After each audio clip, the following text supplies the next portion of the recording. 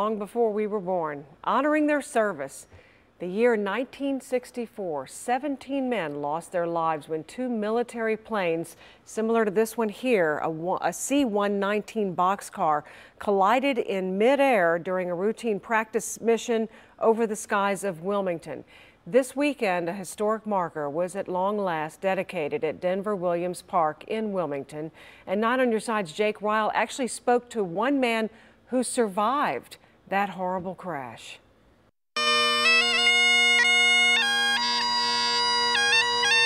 They gather Captain Robert L. Timmons to remember. I was just amazed when I saw how many people were here. The lives lost all those years ago. When people find out, a lot of people have heard me tell the story about this, but I think when they would see all the names actually on there, to me, it's a, little bit mind boggling to think that that many were gone in an instant, just like that. Each rose for one of the 11 officers and six enlisted men killed.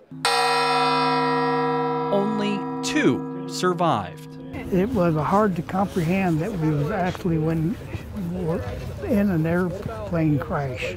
You know, that didn't register. 91 year old Bill Zugelder, the lone man still alive from the accident, and he remembers. We were lead ship in a nine ship formation. There were three, three, and three. April 18th, 1964. Weather conditions were rough. And so he said, Don't lose sight of that light.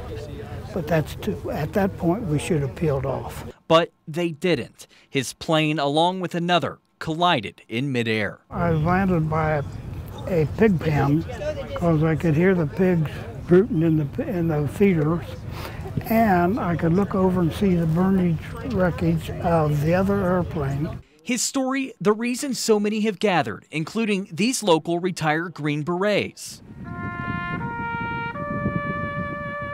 All to see their brothers finally honored after more than half a century.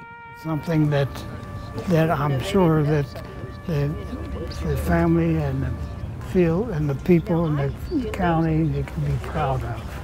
A plaque will ensure the story is never forgotten. In Wilmington, Jake Ryle, 9 on your side.